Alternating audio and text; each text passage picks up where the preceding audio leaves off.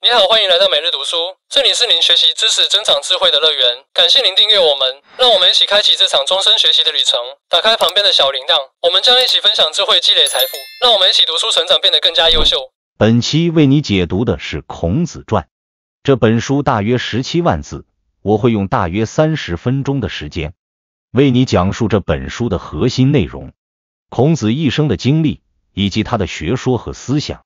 只要你想了解传统文化，孔子这样一个承前启后的大人物，肯定是绕不开的。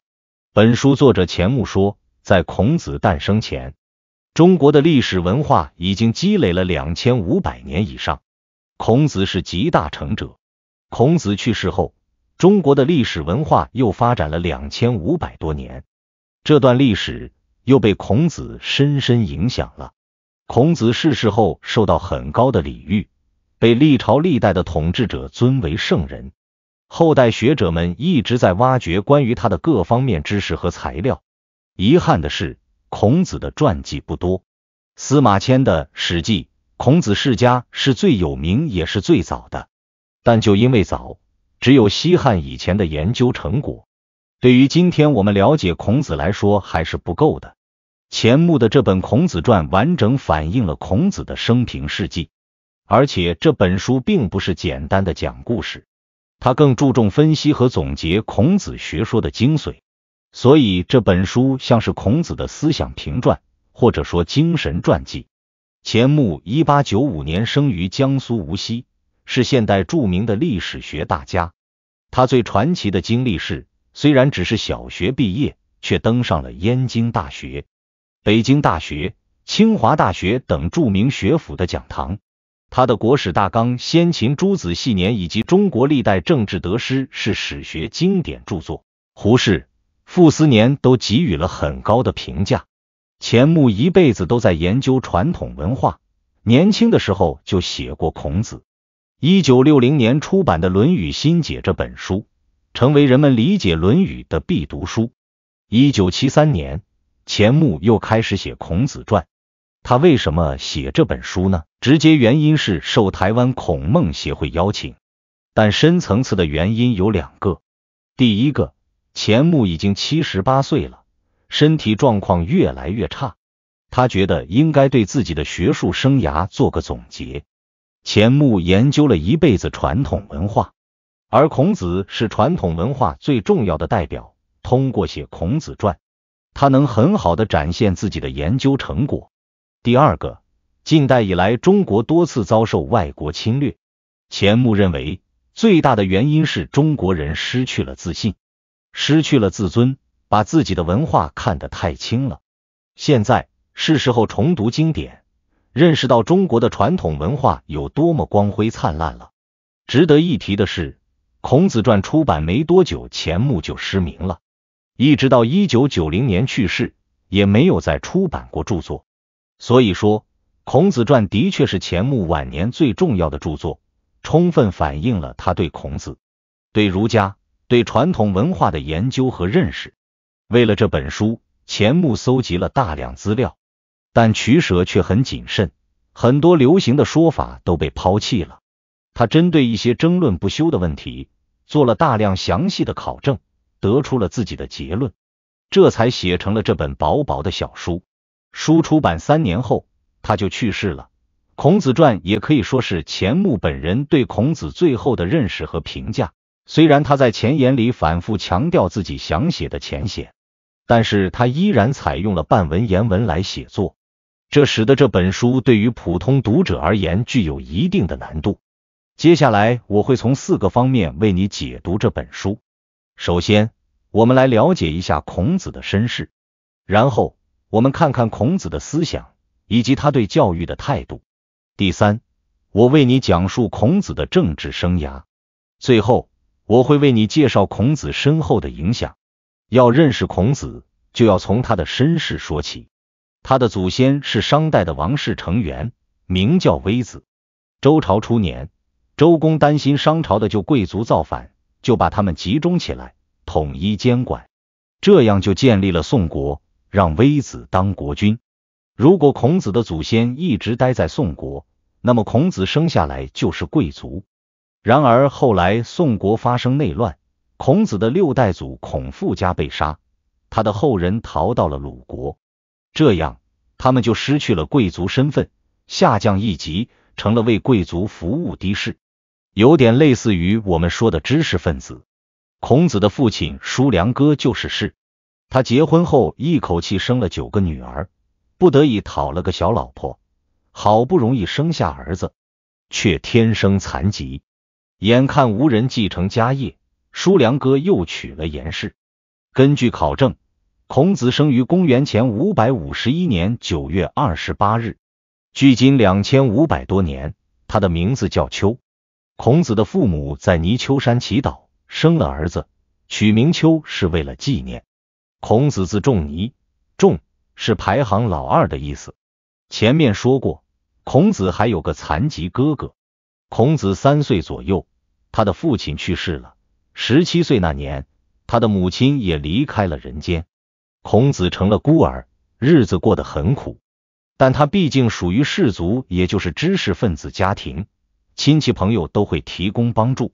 所以孔子接受过良好的教育。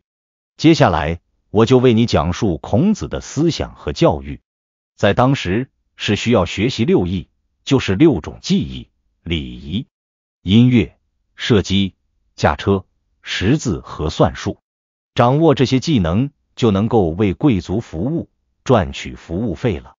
这样的士人被称作儒，这就是儒家的起源。孔子当然也从小学习这些技能，他给贵族当过出纳、会计，还放过牛。他自己说：“吾少也见，故多能鄙视。”我小时候很穷，没有地位，为了谋生干过很多粗活。但是同样是学习，孔子的出发点和普通士人很不一样。对普通士人来说，六艺只是实用技能，学会了可以给贵族办婚丧喜事。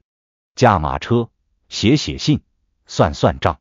然而孔子很特别，每学习一种技能，他都要追问这个技能是怎么产生的，在流传过程中发生过哪些变化，这个技能背后的意义又是什么？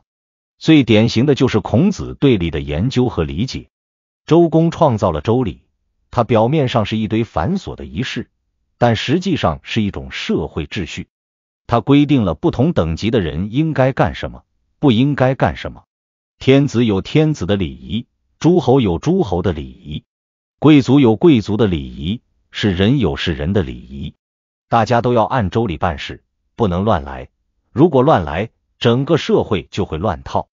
孔子所在的时代，就是个一切都乱了套的时代。诸侯敢用只有天子才有资格用的仪仗队。贵族敢唱只有诸侯才有资格唱的歌曲，对此孔子是非常不满的。他管这个叫礼崩乐坏。《论语》里记载，孔子进入鲁国的太庙，看到什么都要问一句：“周礼是这样的吗？”钱穆认为孔子是在反问，意思是他看到的东西都不符合周礼。还有一次，鲁国的贵族季康子公然采用天子的礼仪。让六十四个人在大庭广众之下跳舞，孔子气地说：“是可忍，孰不可忍？这种事你都干得出来？天底下还有你不敢干的事吗？那么这些不符合周礼的东西是谁弄出来的呢？就是学过礼仪的士人，他们明知道这样做是胡来，但只要有钱赚，也就顺着贵族的意思来。对这种人，孔子很鄙视，他自己绝对不会这么干。”也禁止弟子这么干。用今天的话说，孔子是一个有态度的人，他掌握了一些实用技能，渴望发光发热。但是，如果你跟我的价值观不同，薪水开的再高，我也不为你服务。钱穆认为这是孔子超越时代的地方。别人学技能都很功利，只有孔子关心技能背后的原则。他认为世人或者说儒家。必须讲道理、讲原则，这就把世人的境界提高到了全新的高度。在孔子之前，世人相当于技术人员，没有灵魂，没有节操，只要贵族付薪水，我就提供服务。孔子之后，世人就要判断某些行为是不是符合道理，不符合的坚决不干。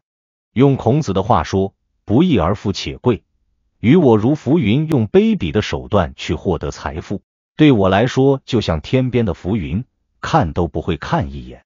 在春秋时代，像孔子这样有原则的人不受欢迎，他也没什么施展能力的机会。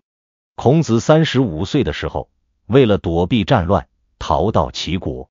齐景公问孔子如何治理国家，孔子回答：“君君，臣臣，父父，子子。”这段话是有针对性的。齐景公晚年，他手下的大臣实力很强，野心很大。而齐景公又一直没决定由哪个儿子来继位，齐国面临着严峻的政治危机，所以孔子说：君主要有君主的样子，大臣要有大臣的样子，父亲要有父亲的样子，儿子要有儿子的样子，国家才不会闹出乱子。这也是遵守周礼的一个表现。虽然齐景公很赞赏孔子的话，但是并没重用他。一年后，孔子回到鲁国。专心教书育人，从此他可以靠收取学费生活，不必依赖贵族，生活更自由、更独立了。关于收学费的事，孔子说过：“自行数修以上，吾未尝无会焉。凡是拿着十条以上干肉来请教我的，我多多少少都教他一点。”就是说，十条干肉是请孔子做老师的最低费用。孔子这辈子教了很多学生。著名的有子路、子贡、颜回、宰我、曾参、善、子夏等等。那么孔子都教些什么呢？六艺，也就是礼仪、音乐、射击、驾车、识字和计算，是人必须掌握，老师一定要教。但是，一般的老师主要教后面四项技能：射击、驾车、识字和计算。他们是实用的，掌握这些技能，世人可以去给贵族打工了。礼仪和音乐因为不实用，就不受重视。到了孔子的时代，能在重大场合正确的使用礼仪、演奏音乐的人越来越少，违反规定的事情层出不穷。孔子想改变这个状况，所以他的教学以礼为主。孔子所说的礼，不仅仅是一种形式。他要求弟子认真思考和研究蕴藏在礼背后的道理，这个道理就是社会秩序。只有理解礼是一种社会秩序，发自内心的遵守礼，才不会流于表面。以礼为主的教学内容，使孔子跟其他老师不一样。别的老师根本不关心这个，所以钱穆说，孔子是中国第一个教你人生哲学、教你怎么做人的教育家。这样我们就能理解为什么在众多弟子当中，孔子最喜欢颜回。就像钱穆说的，颜回对人生哲学的追求是发自内心的，不带任何功利目的。这种纯粹是其他弟子做不到的。颜回十三岁追随孔子，虽然家境贫寒，但他好学不倦，从不抱怨。孔子对颜回非常欣赏。他有许多重要的学术见解、政治主张，都是专门跟颜回讲的。我们知道，除了礼，孔子还提倡过另外一个重要概念——仁，仁慈的仁慈。有一次，颜回问孔子：“什么是仁呢？”孔子回答：“克己复礼为仁，约束自己的言行，按照礼仪所规定的去做，就叫仁。”颜回又问：“能说的再具体一点吗？”孔子回答：“非礼勿视，非礼勿听，非礼勿言，非礼勿动。凡是不合礼仪的，不看、不听、不说、不做。”通过问答，孔子把人的概念解释清楚了，也把人和礼的关系说明白了。孔子把颜回和其他弟子做比较，得出的结论是：颜回能连续三个月不违背人的标准，做到非礼勿视，非礼勿听。而其他人能保持一个月甚至一天，就算不错了。这说明颜回打心眼里认同孔子的学说，而且在生活中努力实践。孔子观察到，在追求学问方面，颜回不断进步，从来没有止步不前，这令孔子非常感动。他赞美颜回：“贤哉回也！”一箪食，一瓢饮，在陋巷，人不堪其忧，回也不改其乐，贤哉回也！翻译成白话文就是贤德啊，颜回吃粗茶淡饭，住在简陋的小巷子里，一般人哪里能受得了这份罪呢？只有颜回在如此恶劣的环境中，却依然不改变学习的热情。贤德啊，颜回！鉴于孔子那么喜欢颜回，钱穆认为他是想把颜回培养成接班人，传承自己的学问和精神。可惜的是，颜回比孔子还早走，这对孔子的打击很大。后来，鲁哀公问孔子：“您的学生里哪些算好学的？”孔子回答：“有个叫颜回的，好学，可是命太短，死了。现在没有好学的了。”另一个孔子喜欢的弟子是子路，子路和颜回完全是两种风格，颜回内向，子路大大咧咧。颜回甘心过平淡人生，子路想做大官，治理国家。颜回在孔子面前像个乖孩子，子路却敢于当面顶撞孔子。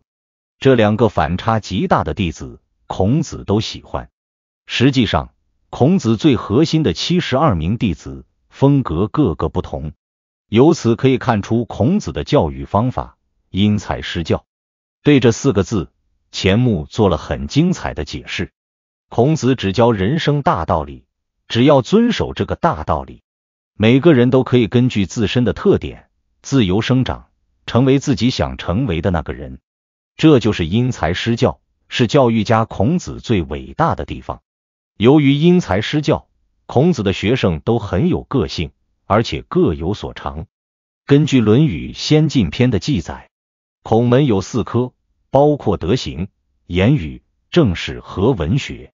每一科都有代表人物，德行科就是道德品质好的人，道德模范代表人物有颜渊、闵子骞、冉伯牛、仲弓。言语科擅长沟通、演讲，能说会道，可以当外交家，代表人物有宰我、子贡。其中子贡还很会做生意，被后世的商人尊为财神。政史科善于处理行政事务。治国理政，代表人物有冉求、子路。文学科，这个文学不是我们今天理解的文学艺术的文学，而是指历史文献、档案资料。在古代，查阅和运用历史文献是很重要的技能。文学科的代表人物有子游、子夏。孔子的教育生涯就讲到这里。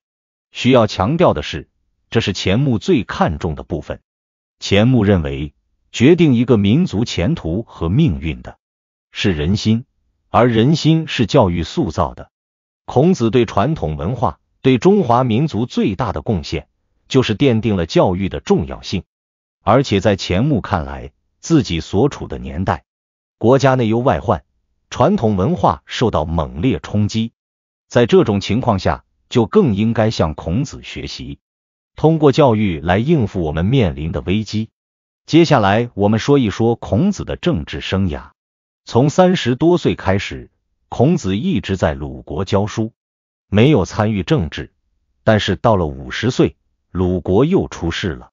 当时鲁国有三大贵族：季孙氏、叔孙氏和孟孙氏。这三大家族把鲁国国君架空，成了鲁国实际上的统治者。讽刺的是，三大家族的家臣势力也越来越大。有把他们也架空的趋势，其中最嚣张的是季孙氏的家臣杨虎或公山不牛，他们已经做好了背叛贵族季孙氏的准备，想得到更多人支持，就来找孔子。他们以为孔子经常批评季孙氏，敌人的敌人就是朋友，一定会和他们站在一起。但是孔子不为所动。后来。三大家族联手把杨虎和公山不扭这两个有野心的家臣赶出了鲁国。风波平息后，三大家族也想到了孔子，先封他为中都宰，后来升为司空，再后来让他做了大司寇。大司寇掌管全国的司法，相当于今天的最高法院院长。三大家族怎么忽然请孔子出山呢？原来孔子一直主张加强君主权力。做臣子的要忠心，不能有非分之想。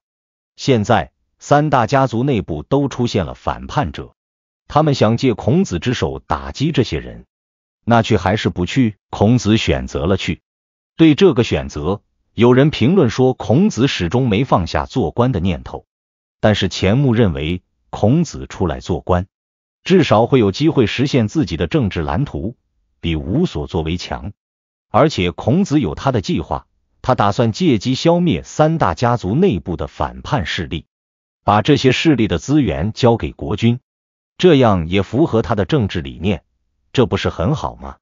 孔子不动声色的先后摧毁了季孙氏家臣与叔孙氏家臣的势力，轮到孟孙氏的时候，三大家族忽然醒悟，察觉到孔子的真实企图，这样孔子的计划就推行不下去了。他在鲁国也待不住了。公元前四百八十七年，孔子离开鲁国，开始周游列国。那年他五十五岁。孔子先去了魏国，住了大约四年。魏灵公请孔子担任官职，还特意询问他在鲁国做官拿多少工资，命令给予同等待遇。孔子后来具体做了什么官，已经搞不清楚了。但是有一点可以肯定。他并没有得到重用，卫灵公只是把他养了起来。这可能是因为卫灵公觉得，虽然孔子学问很大，但对治理国家没什么用。有一次，卫灵公向孔子请教军事，孔子说：“礼仪我懂，军事没学过。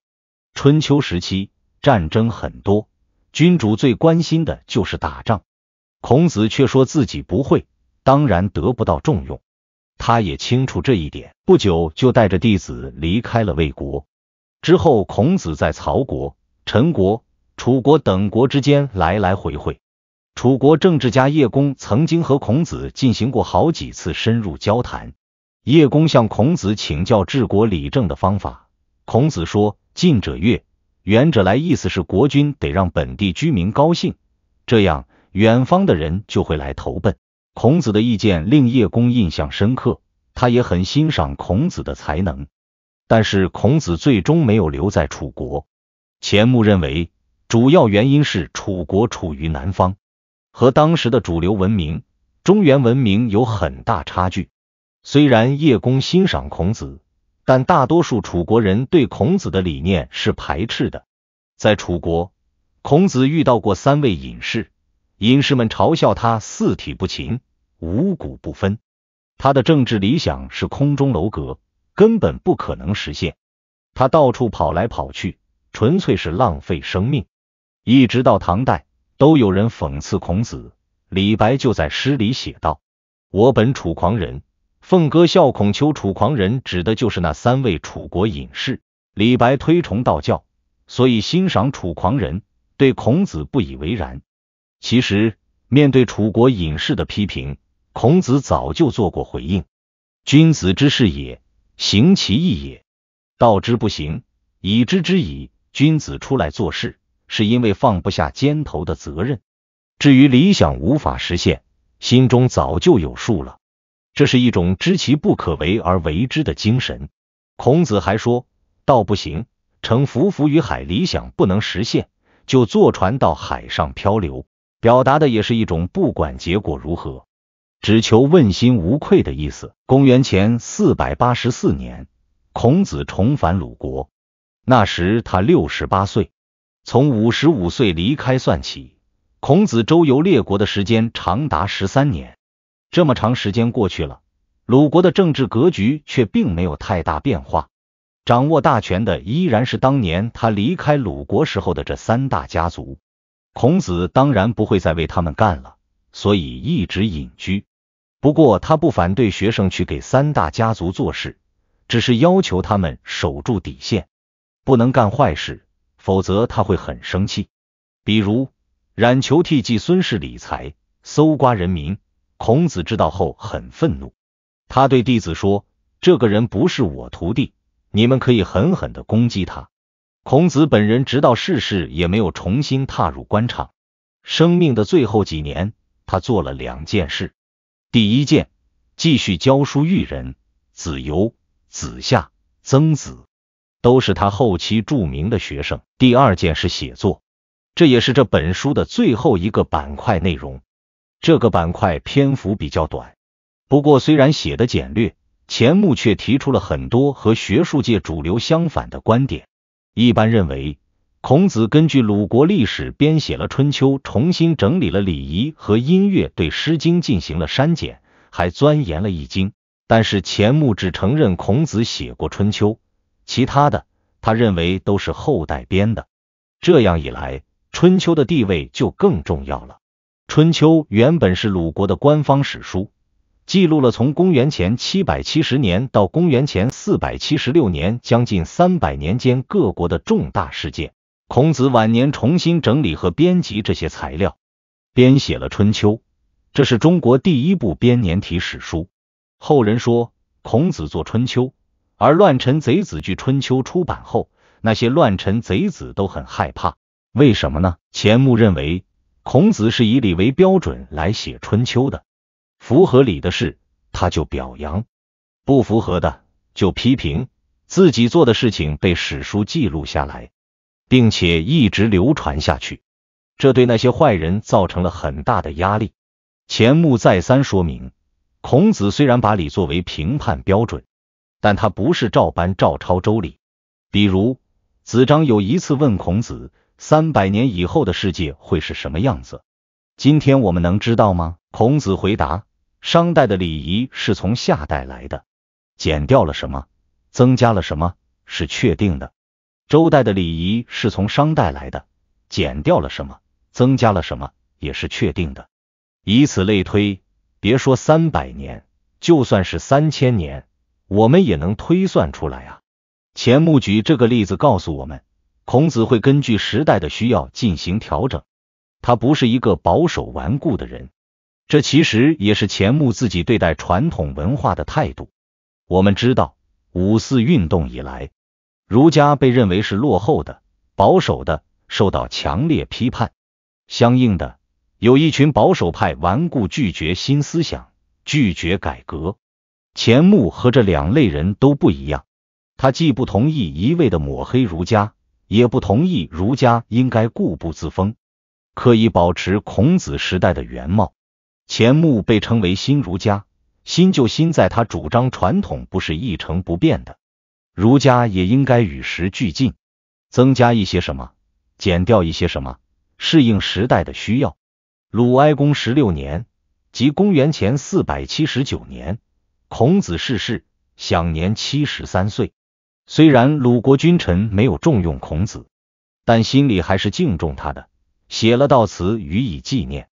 孔子的弟子和再传弟子则开始编写《论语》。这本书记录了孔子及其主要弟子的言行，是后人了解孔子最重要的材料。钱穆非常推崇《论语》，他认为，首先，《论语》是孔子的弟子和再传弟子编写的，其中很多人见过孔子，对孔子很熟悉，所以他们的记录真实性很高，而且非常亲切。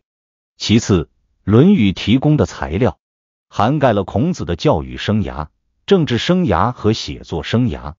通过分析和体会，我们能准确的认识孔子。这本《孔子传》主要的材料就来自《论语》。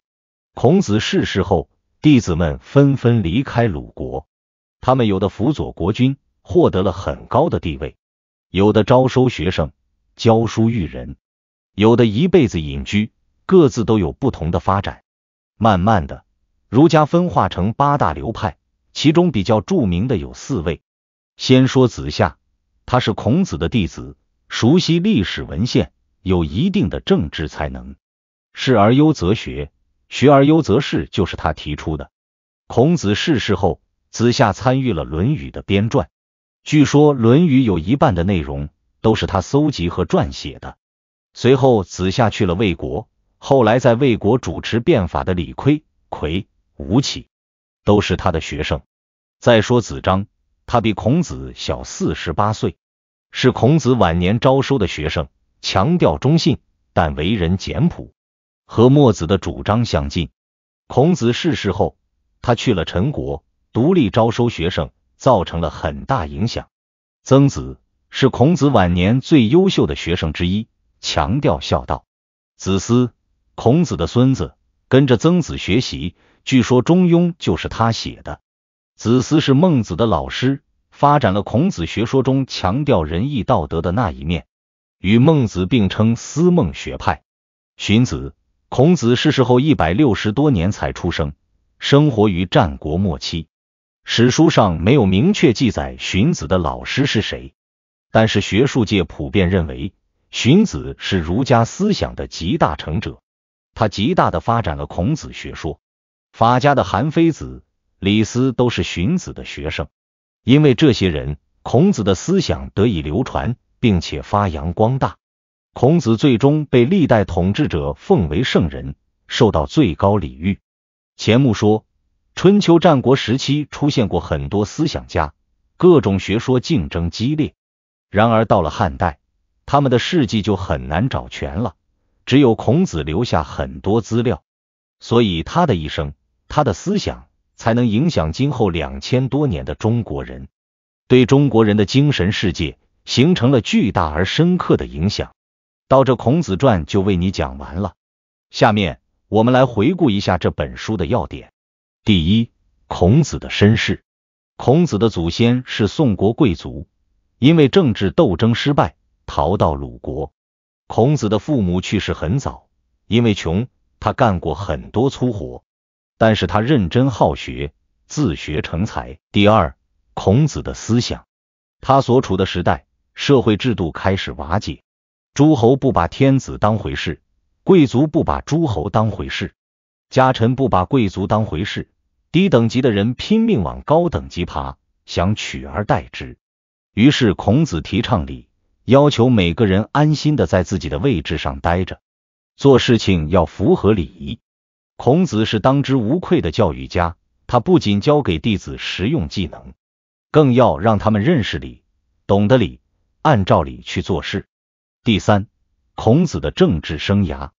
孔子还是政治家，在鲁国搞过政治改革。